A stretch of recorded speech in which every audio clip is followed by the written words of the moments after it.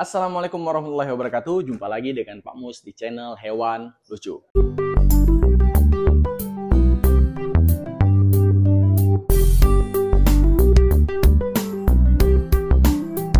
Ya teman-teman, jumpa lagi dengan Pak Mus ya. Uh, di video kali ini Pak Mus uh, kita unboxing lagi, tetapi kita bukan unboxing hewan teman-teman, tapi kita unboxing uh, akuarium atau terrarium reptil yang bekas. Kebetulan Pak Mus ini lihat dari marketplace ada yang jual, harganya murah banget teman-teman.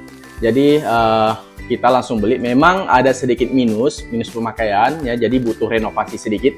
Kita langsung lihat aja yuk uh, terrariumnya. Ini Pak Mus beli dengan harga yang cukup murah, jadi masih bisa kita gunakan untuk reptil-reptil ya. Memang ukurannya ini ada yang kecil dan ada yang sedang teman-teman. Jadi uh, kita lihat aja, baru kita nanti tentukan untuk reptil apa atau hewan apa yang cocok kita masukkan ke terrarium ini. Kita langsung unboxing teman-teman. Nah ini berat banget teman-teman. Ya, jadi ini paketnya ada empat terrarium. Jadi kita langsung unboxing aja ya, kita potong. Jadi ini dikirim melalui ojol seperti biasa sampai ojolnya juga sedikit ngeluh teman-teman karena berat katanya dan takut pecah di jalan ya. tapi uh, Pak Mus lihat dari, dari iklannya katanya ini dari bahannya akrilik tapi kita nggak tahu juga sepertinya ini akrilik ada juga dari kaca ya teman-teman langsung buka aja dulu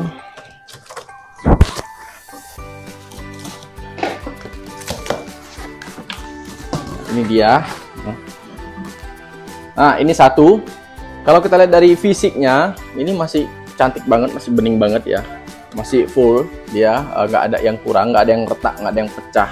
Coba kita lihat lagi yang lainnya. Kayaknya ini baru dicuci teman-teman. Ya, maklum aja kan uh, jadi bekas pakai. Ya, jadi dicuci dulu kalau mau dijual. Ini satu lagi. Loh, ini pintunya mana ini? Eh, eh, Kok nggak ada pintunya ini ya? Eh. Tuh lihat, ini cantik banget. Kita taruh di sini dulu.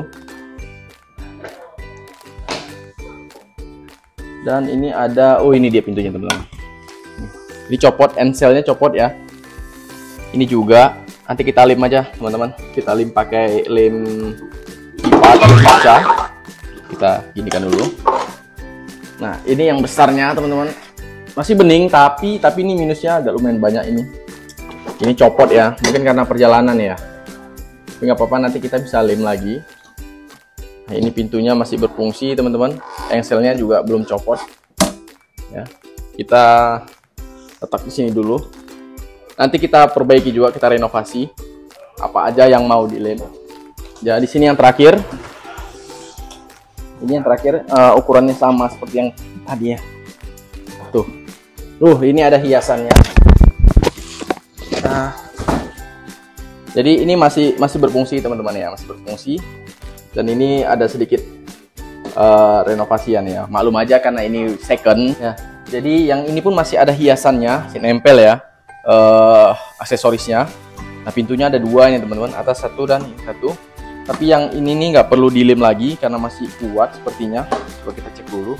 Oh ini lekang ya uh, atau copot. Kita coba kita lem aja dulu.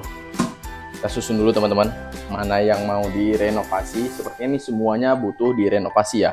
Yang ini kita renovasi pintu. Yang lain masih kokoh ya masih cantik. Nah ini yang atasnya teman-teman. Coba kita taruh dulu ke sini. Ada kayak lacinya teman-teman. Nah biasanya kita ini karena ini kaca dan akrilik kita mau uh, lemnya itu menggunakan lem pipa atau silikon teman-teman. Ya di sini Pak Mus sudah ada siapkan lem pipanya. Ya jadi kita lem menggunakan ini. Kita lihat dulu yang satu ini teman-teman. Jadi kita coba lem di sini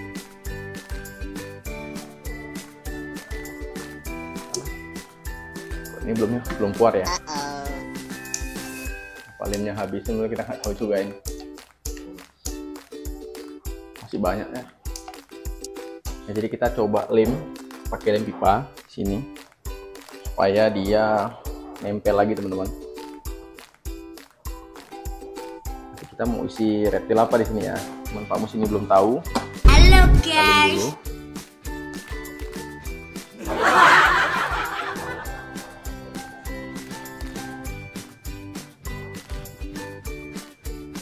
dia melekat dulu teman-teman Oke. Yang ini selesai kita lem.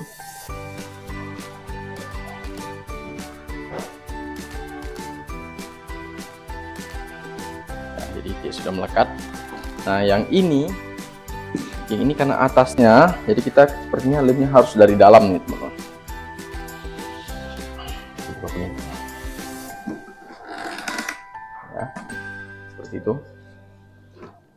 Lem dari sini.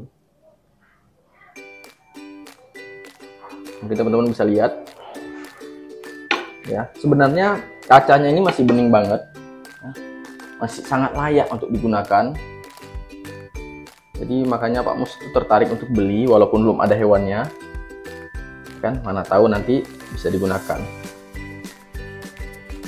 Kalau teman-teman tahu atau ada ide reptil-reptil apa, reptil kecil atau hewan apa yang cocok untuk dimasukkan ke kandang ini, komen ya teman-teman. Biar nanti Pak Mus juga sekalian ketika nanti beli kita unboxing juga kita review teman-teman. Saling dulu.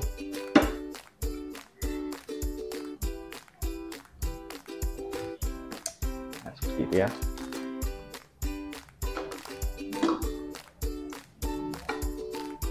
Semoga dia melekat nggak copot lagi selesai Oke, yang ini selesai. Kita tutup. Ini kita cek dulu. Limnya nggak ada masalah. Ya. Nah, yang ini tinggal kita perbaiki pintunya, teman-teman. Nah, ini pintunya kita perbaiki. Seperti ini. Kita tempel dulu di sini.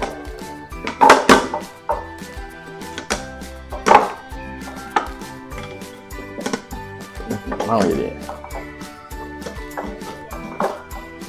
terus seperti ini teman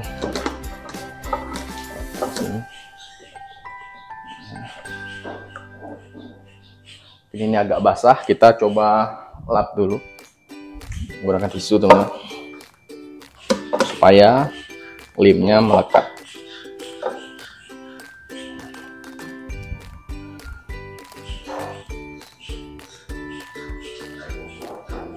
seperti itu oke.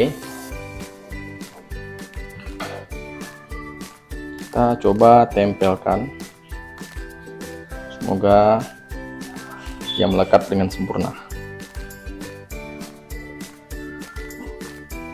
Ya kita tunggu mengering. Ya tinggal yang satunya nih teman-teman. Yang lain nggak ada kendala ya nggak ada masalah. Yang lain bahkan masih ada backgroundnya ini. Kita coba pasang kita lap dulu. Ini. Kita tempel dulu seperti ini pintunya ya. Baru kita kasih lem lagi di sini.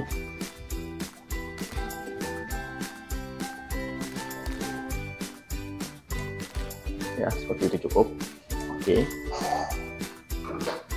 baru kita lekatkan nah seperti ini Nah, kalau kita lihat fisiknya teman-teman, ini bening banget ya, masih layak banget untuk digunakan dan cakep banget teman-teman. Coba kita bariskan dulu ya. Ini sudah direnov, semoga nanti cepat kering teman-teman dan bisa kita gunakan kembali.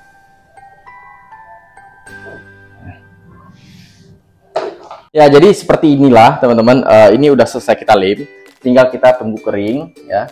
Pintunya seperti ini. Nah, seperti ini ya nanti kita bakal setting uh, di dalamnya itu sesuai dengan hewan apa yang mau kita isi teman-teman ya jadi ini belum uh, melekat ini apa namanya engselnya kita tunggu kering aja nah buat teman-teman yang punya ide hewan apa yang cocok kita masukkan atau kita isi ke dalam terrarium ini ya komen di bawah oke okay?